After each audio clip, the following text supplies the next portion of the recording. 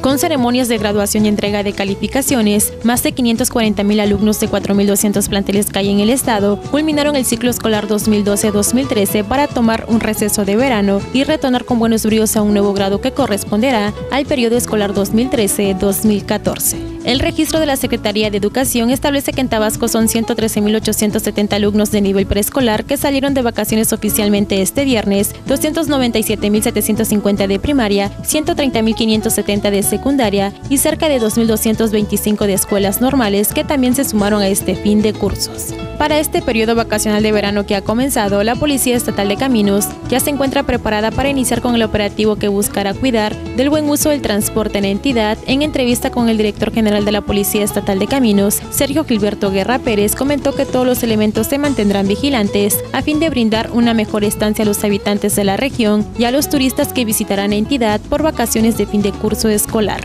El titular de la Policía Estatal de Caminos informó que serán los lugares más frecuentes los que contarán con presencia de vigilancia constante, tales como los lugares recreativos, centros de convivencia infantil, museos, unidades deportivas, instalaciones de organismos públicos y privados, además de la implementación de un parque vehicular extenso en carreteras federales y locales. Por otra parte, la Coordinación de Turismo en Tabasco ya se encuentra lista para recibir a todos los visitantes locales y foráneos en los principales centros turísticos de la entidad. Cabe recordar que gracias al programa Mundo Maya, el turismo en Tabasco en el 2012 creció en un 30% con un repunte especial en la temporada de verano. Con información de Agencia CIT para Radio Fórmula Tabasco, Adriana Wilson. Grupo Presente Multimedios. Evolución, comunicación, compromiso.